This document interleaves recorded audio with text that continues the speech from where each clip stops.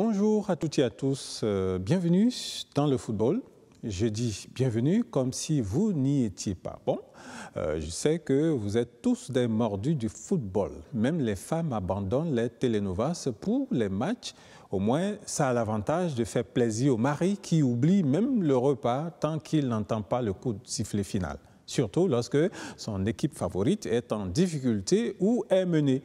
Bon, euh, on ne va pas décrire les scènes de ménage pendant les périodes chaudes de football, Cannes, Euro, Coupe du Monde et même les championnats régionaux. Alors, quelques thèmes euh, que vous entendez souvent euh, pendant le match temps réglementaire, temps additionnel, prolongation même, pourquoi pas. Je parle surtout aux dames qui euh, sont habituées à suivre les feuilletons uniquement pour qu'elles comprennent mieux les thèmes utilisés au cours d'un match pour ne pas importuner le mari en le bombardant de questions. C'est quoi ici, c'est quoi ça, etc. Alors, le temps réglementaire retenu chez dames, cela ne veut pas dire qu'il y a un temps qui n'est pas réglementaire, sinon il ne serait pas utilisé légalement.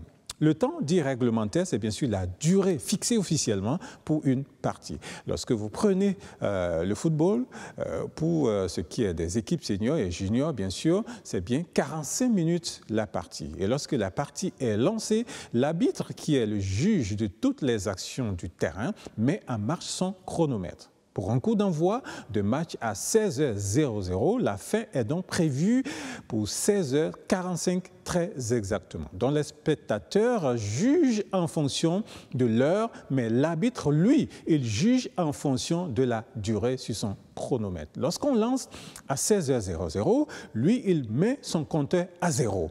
Et c'est en ce moment qu'il compte de sorte que eh, la fin du match, il va afficher 45 minutes. Mais généralement, vous le savez, à la fin de la partie, son chrono ne marque pas les 45 minutes parce que, entre-temps, il a arrêté le chrono quand il y a des arrêts ou des temps morts, euh, des moments où il y a quelque chose qui arrête momentanément. Le cours du match, et comme les blessures des joueurs, par exemple, qu'on doit soigner ou faire sortir du terrain ou euh, changement, c'est lorsque la remise en jeu est faite que l'arbitre remet alors son chrono en marche. Mais pendant que lui, il a arrêté son chrono, le temps s'écoule. Et donc, la fin des 45 minutes, vous avez l'impression que la partie a duré 45 minutes. Mais non, elle a peut-être duré 42 minutes ou moins, parce qu'entre-temps, le chrono s'est arrêté par la volonté de l'arbitre. Donc l'arbitre fait la différence entre le temps écoulé et le temps réel du jeu, et c'est cette différence qu'on nous affiche pour dire temps additionnel, 3 minutes par exemple. Cela veut dire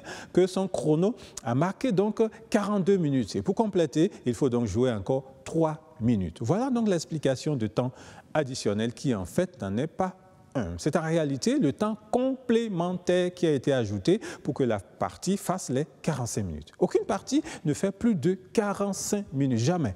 Le temps additionnel n'est additionnel que pour les spectateurs.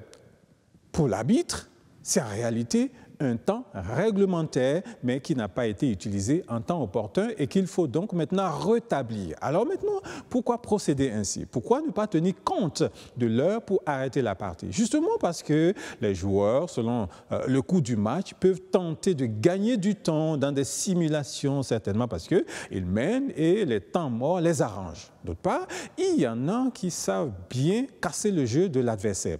Quand ils voient que l'adversaire est dans ses beaux jours, ils cassent le rythme dans une simulation pour refroidir l'adversaire pour qu'il aille à son rythme. Voilà les contours du temps de additionnel. Donc, on pourrait dire que le temps additionnel équivaut en quelque sorte à une heure supplémentaire chez les travailleurs, sauf que là, les heures supplémentaires euh, le sont en fonction du travail qu'il reste à faire et non du temps perdu à jouer sur l'ordinateur, par exemple, ou à pianoter sur son portable Facebook, WhatsApp. Et d'ailleurs, dans les groupes WhatsApp et Facebook, regardez bien à quelle heure ils écrivent et réagissent, et on en parlera plus tard.